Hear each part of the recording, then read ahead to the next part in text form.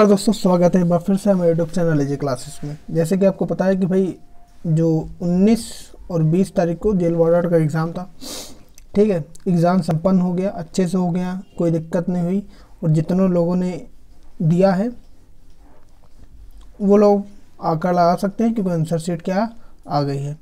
वैसे तो आप देखेंगे जिस दिन आप पेपर दे के आए थे, उसी दिन किसी, बहुत सारे इंस्टीट्यूट हैं जिन्होंने आंसर शीट निकाल दी और लगभग वो सही भी होती, ठीक है? पर ऑफिशियल आंसर शीट में कुछ और भी होता है। तो इसी के अवज में आज जो ये वीडियो है, वो आंसर शीट को लेकर के है। यदि आप देखेंगे तो ये 22 तारीख का है। वीडियो थोड़ा लेट है, पर कोई दिक्कत नहीं है, क्योंकि सबको पता चल गया है, पर कुछ लोगों को नहीं पता चला तो वो हमारे माध्यम से पता चल जाएगा, ठीक है? तो जेल वार्डर का जो एग्ज़ाम किया था, पुरुष और महिलाओं के जेल वार्डर के फायर, जेल वार्डर और फायरमैन, जो एग्ज़ाम हुआ था, ठीक है 2016 से भर्ती आई थी, पर अभी 2020 में हो पाया। 19 और 20 तारीख को दो पाल, दो पालियों में ऑफलाइन एग्ज़ाम करवाया गया था, ठीक है। उसके आंसर सी के, आंसर सीट जो है ना मतलब कुंजी, वो क्या है, वेबसाइट पे अपडेट हो गई है। इसको जा कर के आप चेकआउट कर लीजिएगा, और ये रहेगी कब तक, ये इंपॉर्टेंट चीज़ है, कि ये 22 आज दिनांक 22 तारीख, यानी आज तो 22 नहीं, आज 23 तारीख है। 22 तारीख से लेकर के 29 तारीख तक ये रहेगी। आप उसे चेकआउट कर सकते हैं। अपने नंबर नंबर गिन लीजिएगा। और यदि आपके नंबर 200 प्लस लग रहे हैं तो ये मान के चलिए कि आपको रेस वेस बढ़िया से करनी चाहिए। क्योंकि ऑलमोस्ट 200 में हो जाएगा, क्योंकि पेपर का लेवल टफ था।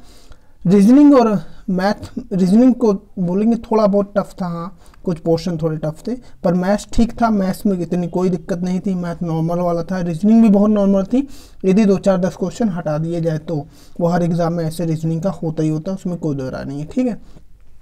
बाकी हिंदी का लेवल बहुत अच्छा था, यानी अच्छा बहुत अच्छा नहीं बोलेंगे हाँ अच्छा था जो नॉर्मल यदि जो व्यक्ति नहीं पढ़ रहे हैं, नहीं पढ़ के गए हैं तो उनके लिए प्रॉब्लम थी जो रेगुलर पढ़ के गए हैं और अच्छे से पर्यावाची और दुनियादारी दिया, देखा है तो कोई दिक्कत नहीं होगी, आराम से वो कर ले गए होंगे, ठीक है? जीएस के लिए यहाँ कहेंगे जीएस का लेवल अच्छा था easy to moderate moderate level का जीएस था इजी नहीं बोलूँगा क्वेश्चन अच्छे से नहीं बन पा रहे थे और उनके लिए भी आपको लॉजिक चाहिए था और यदि आपने अच्छे से बैकग्राउंड उनका पढ़ा हुआ है तो ही आप कर पाएँगे, बाकी एक दो क्वेश्चन उसमें गलत भी थे जो आप जानते हैं, ठीक है? मुझे उससे बताने की कोई ज़रूरत नहीं है और उसके लिए परेशान भी ना, आयोग आपको उसके अलग से नंबर देगा, ठीक है?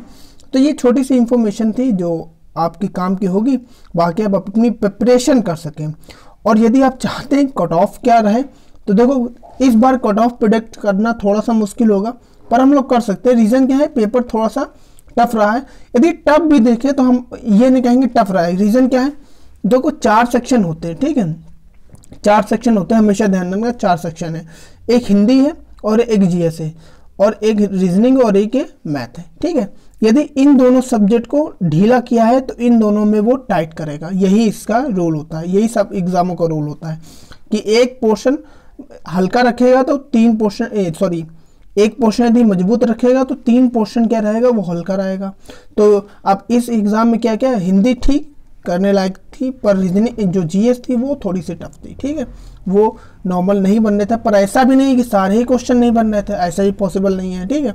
कि सारे ही क्वेश्चन ना बनना हो तो कुछ पोर्शन तो रहता ही रहता है। यदि आप डेढ़ सौ का क्वेश्चन आया है तो ये मान के लिए आपके जो करने लायक है, वो 120 से लेकर 130 तक आप आराम से कर सकते थे। नहीं, आराम तो बोलूँगा गलत हो जाएगा, नहीं तो बच्चे कहेंगे, अरे अच्छा। हाँ ये मान के चलो कि यदि आपने 120 बोले हैं, यदि 120 आपने अच्छे से किया है, कोई दिक्कत वाली बात नहीं, क्योंकि 30 क्वेश्चन में मान सकता हूँ, टफ होंगे, जो रीजनिंग 10 रीजनिंग के 10 हिंदी के और 10 जीएस के रखेंगे। मैथ्स के मैं नहीं रखूँगा मैथ्स में सिंपल क्वेश्चन थे, ठीक है? तो 30 क्वेश्चन को मैं बफर मान के चल रहा हूँ तो 120 आपको करके आने चाहिए थे, उसके बाद जितने सही, जितने गलत होंगे वो आपके होंगे, ठीक है? पर यदि 200 प्लस नंबर आपके बन रहे हैं, चाहे चाहे आप किसी भी कैटेगरी में हो तो आपको रेस करनी चाहिए, आराम से आपका होने के काफ़ी हद तक चांसेस रहेंगे, ठीक है? बाकी आप किसी चक्कर में ना पड़े, अपनी तैयारी वारी करते रहें और जो यूपीएसआई से रिलेटेड जो इन्फॉर्मेशन है, वो धीरे धीरे आती रहेगी। अभी आपको पता है कि पद कुछ बढ़ने की बात चल रही है। आज पेपर वेपर में भी आया, एक दो दिन हो गए, ठीक है?